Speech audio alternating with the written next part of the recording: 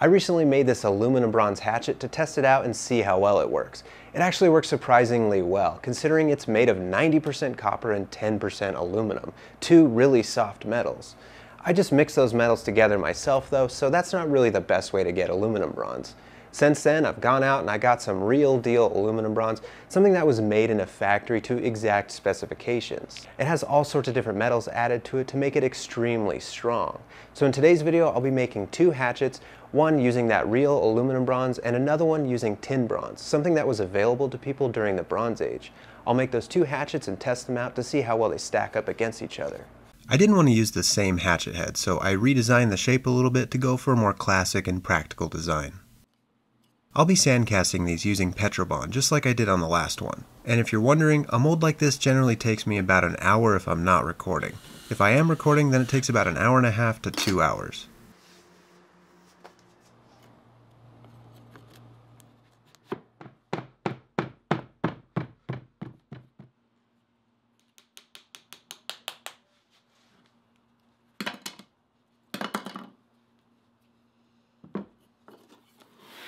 I know that these hatchets are going to shrink quite a bit when they solidify, so I'm adding these big holes which will act as reservoirs. They'll feed the main casting as it solidifies and shrinks. I'm using sand mixed with sodium silicate to create what's called a core. I'll leave it in the mold so that the metal can flow around it, creating a hole running through the hatchet head, and that hole is referred to as an eye.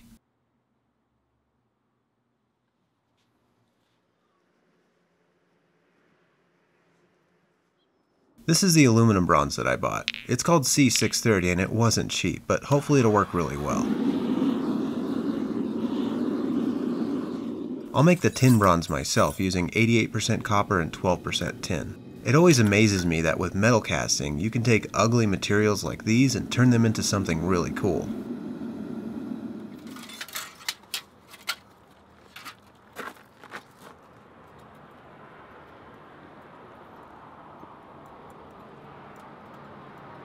I poured a little bit of the leftover metal onto the top of the molds in hopes that I could cut strips off of it and use it as welding rod to fix any imperfections in the castings.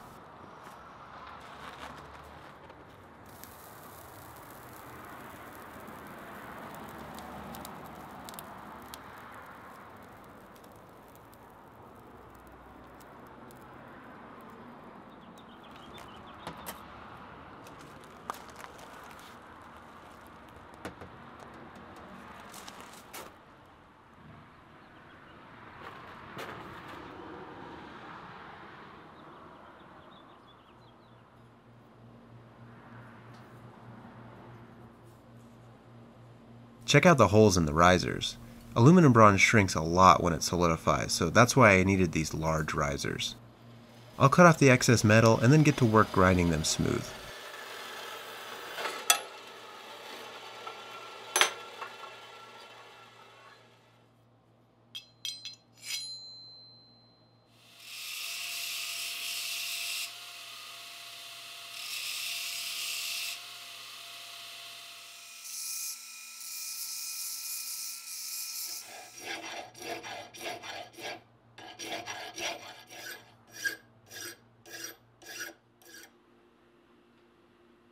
Grinding revealed this little spot from shrinkage on the aluminum bronze hatchet.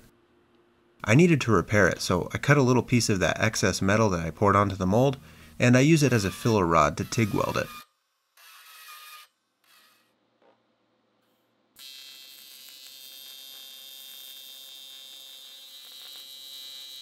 I was able to patch it pretty well, but for whatever reason the metal is a slightly different color where it was molten.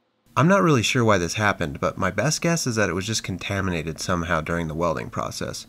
If you know, then leave a comment and let us know. I added a nice healthy chamfer to make them look a lot nicer. I used a file for the first one, but then I realized I could just use my belt grinder, so that's what I did for the second one, and it was a lot easier.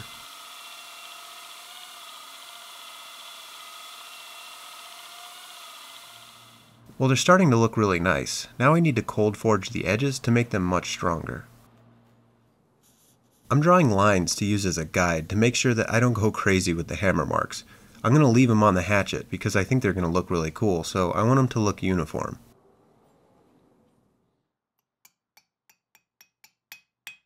When cold forging bronze, you can actually feel it starting to get harder and harder. The first hammer hits are really soft, but as you keep hitting the same spot repeatedly, it becomes a lot harder and the hammer starts to bounce off of the metal.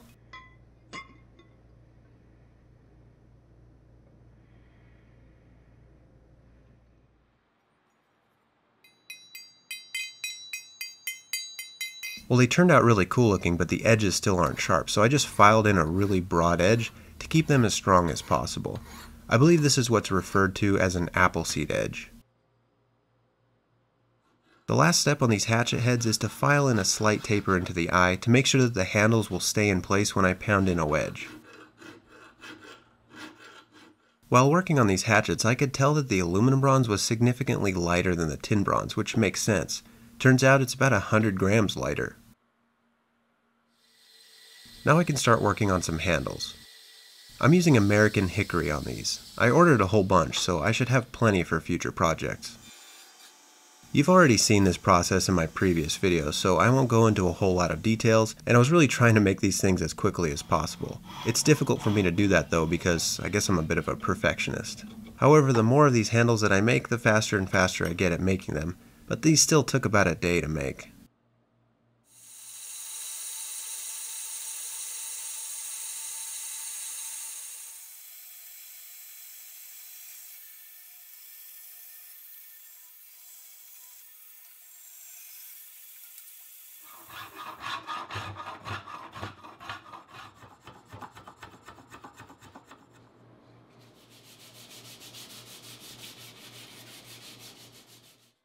Now I can start putting these things together. I made some wedges from wood and steel off camera. I chose walnut because I wanted a bit of contrast between the different woods.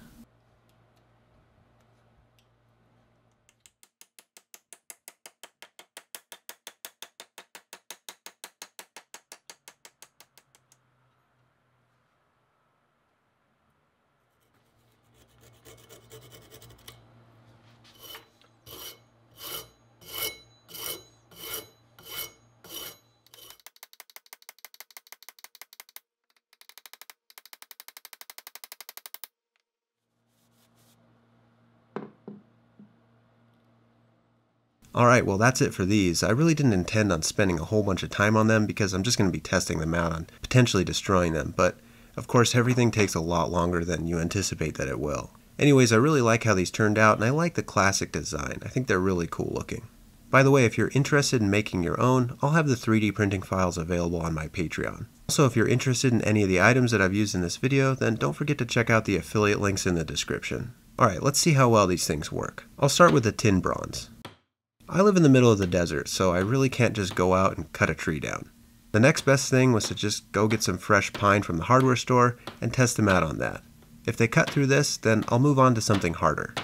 Oh, and at the time of recording this video, it's 110 degrees outside in Las Vegas, so that's why I'm in my workshop and not outside.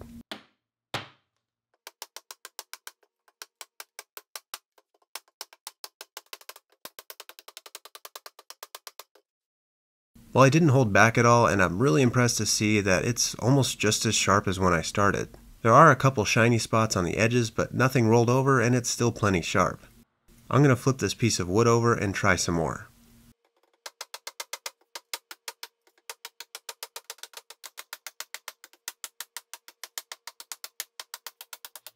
It's still nice and sharp, so let's try the aluminum bronze next.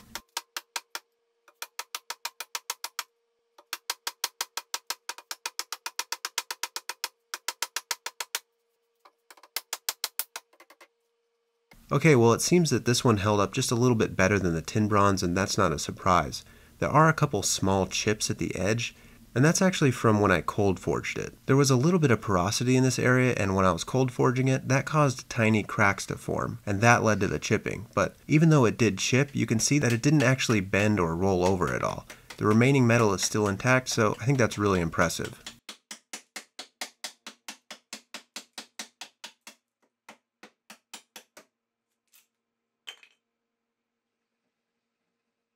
Alright, here's a piece of really dry white oak. I'm not going to go crazy hitting this oak because I really don't want to destroy the hatchets if I don't have to. If I see that they're cutting really well, then I'll keep going, and if not, then we'll know that we've reached the limit of these hatchets. Let's see how well they do.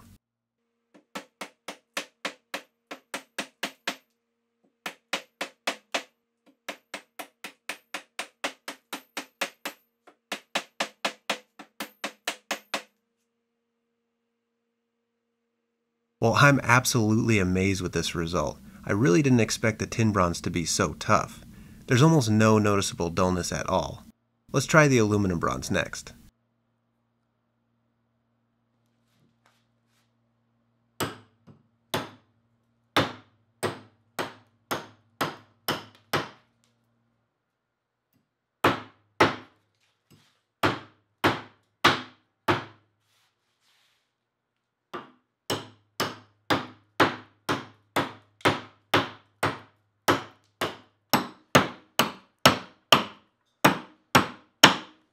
Well, the aluminum bronze worked super well also, and I, I just could not be more impressed with these results. My homemade aluminum bronze must have been very weak because both of these easily outperformed it.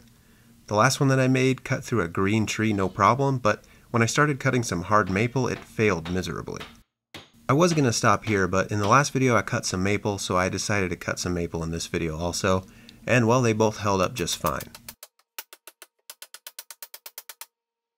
So these things worked really well and I'm really impressed.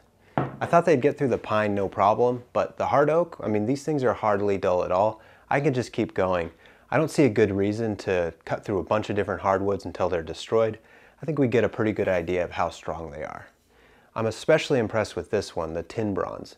88% copper, 12% tin. All I did was hammer on it a little bit, and it seems to be just as strong as that modern aluminum bronze. That's impressive. So if you like this video, then let me know what you think in the comments. Give the video a thumbs up and subscribe for future projects. Thanks for watching, and I'll see you next time.